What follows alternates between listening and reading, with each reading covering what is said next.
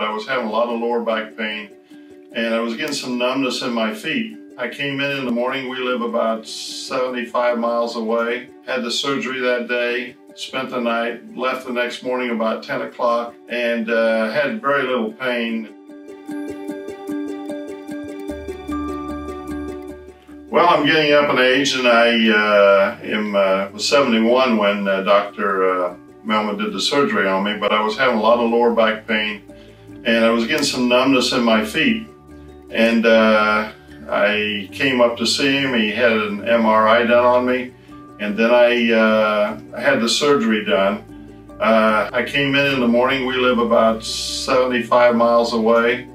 Had the surgery that day, spent the night, left the next morning about 10 o'clock, went home uh, in the car, and uh, had very little pain. In fact, I don't think I took the whole prescription that he gave me for pain and uh, just had a wonderful experience with it and never had any more pain in my back there.